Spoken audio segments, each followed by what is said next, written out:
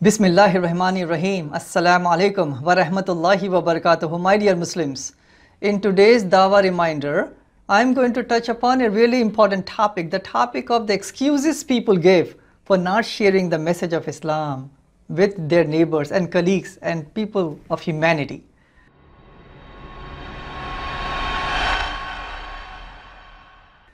Some people they may say that, you know, Sabeel, how can I convey Islam with other people when I myself am not a good person? I am not perfect. I am deficient in my knowledge. So how can I convey the message with them? Let me work on myself first. I know it's not you with the excuse, but some people they may give that excuse. Some people they may say, some Muslims, that how can we work on the non-Muslims when look at the condition of the Muslims, the halat of the Muslims. Let's work on the Muslims. Let's make our Muslims better. Then we can go and convey the message to the non-Muslims. I have five point response, my dear Muslims, to this excuse or to this reasoning. But let me start with a really important story. The story of, of a lady who came to the MEC Masjid in Morton Grove and she said, I came to the mosque today of my own choice to convert to Islam. Allahu Akbar. We all got excited. Yes, Alhamdulillah. Then we asked her the question, you know, what made you interested in Islam? And she said, that I have a Muslim friend and my friend's daughter, she used to recite for me passage from the Quran. And that passage was from chapter 2 of the Quran, verse number 255, Ayat al-Kursi as we Muslims know. So this non-Muslim lady, she said that I really got attracted with the oneness of God when I listened to this passage. I got attracted to the attributes of Allah subhanahu wa ta'ala in their perfection when I heard this passage from this young girl. And now, Alhamdulillah, she said, I am coming today of my own choice to convert to Islam. So my dear Muslims, the very first response that we can give based on this story is what the Prophet mentioned. He said, Ballighu anni walau ayah means convey from me even if it is one single passage, one single ayah, one single truth, one single message. The Prophet is saying that whatever knowledge that you have, keep on conveying the knowledge, keep on conveying the message with any baggage that you have. As long as you are a Muslim, share the message of Islam. Whatever that you know, keep on sharing the message. My dear Muslims, the second response that I can provide is also from a narration. This is collected in Imam Tabarani's collection. Anas bin Malik ta'ala anhu, he narrated that some companions they came to the Prophet and they asked him this question that how can we enjoin good on other people when we don't enjoin all of good on ourselves? And how can we forbid people on other people when we don't forbid all of evil on ourselves? The Prophet said, no. Still enjoin good on other people even if you don't enjoin all of good on yourself. Even forbid people to do wrong even if you don't forbid all on yourself. So the Prophet again is saying, with all the imperfections, still enjoin good and forbid evil. And the best good that we can enjoy is to invite humanity to the worship of the Creator. My dear Muslims, the first generation of the Muslims, the best of all the generations, they did not have the excuse that how can we how can we convey the message to the people when we ourselves are not perfect. If they had the excuse, Islam would not have spread to different parts of the world. Islam would have been restricted to Makkah, Medina, Arabia, there would not have been expeditions of dawah, of sharing the message with humanity. The expeditions that went to you know, Malaysia, Indonesia, subcontinent, you know, Russia and Europe and uh, Africa, different parts of the world.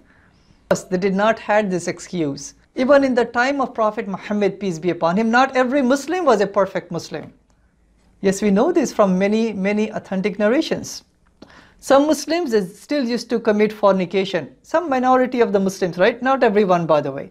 Some Muslims, they, they still used to uh, drink. Them, they did not came even to the Jummah prayer. But then they did not stop the Prophet from conveying the message to the non-Muslims. It did not stop the Prophet just to work on the Muslims, just be in the masjid and have the weekly halakas and the conferences for the Muslims. No.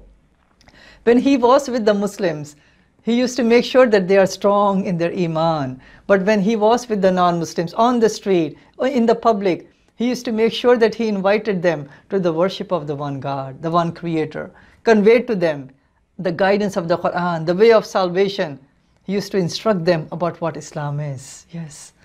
So that is the example, my dear Muslims, that we need to follow.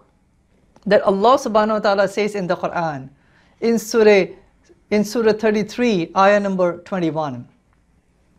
لقد كان لكم في رسول الله أسوة حسنة لمن كان يرجو الله واليوم الآخرة وذكر الله كثيرا that in the person of Prophet Muhammad, peace be upon him, you have the best example to follow. For those who believe in Allah and the last day and remembers Allah much. So it was the Prophet's example.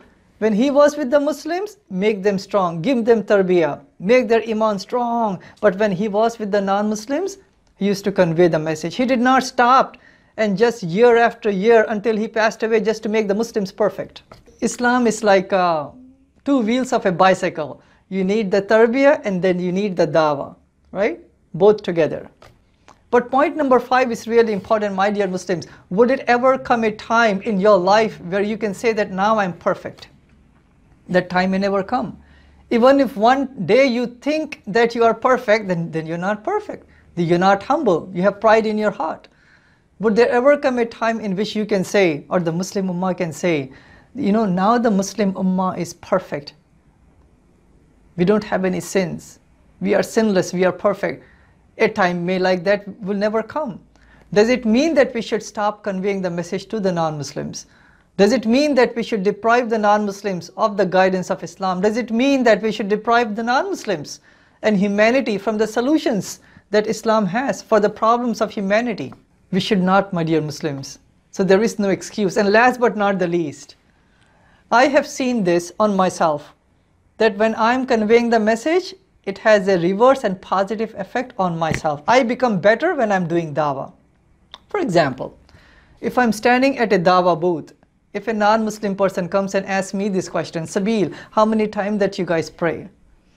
If I tell that person that Muslims pray five times a day, the very first one before sunrise, so just can you not imagine that I would be more conscious next time the time for Fajr comes. I would be inshallah waking up, going to masjid and pray my prayer because now I have mentioned about prayer, about Islam to some person. It has a reverse positive effect on myself. So my dear Muslims, Alhamdulillah, no excuse is a good excuse when it comes to sharing the message. As Allah subhanahu wa ta'ala says in the Quran, Surah Nahl, Surah 16, ayah number 125. ادعو إلى سبيل ربك بالحكمة وموعظة الحسنة وجادلهم بالتي هي أحسن that invite all to the way of Allah with wisdom and good preaching and converse with them in ways which are best and most gracious. So may Allah subhanahu wa ta'ala give us the ability, forgive our shortcomings, make us an ummah which is the best ummah for humanity so with any baggage that we have, we still convey the message of Islam. Assalamu alaikum wa rahmatullahi wa barakatuhu.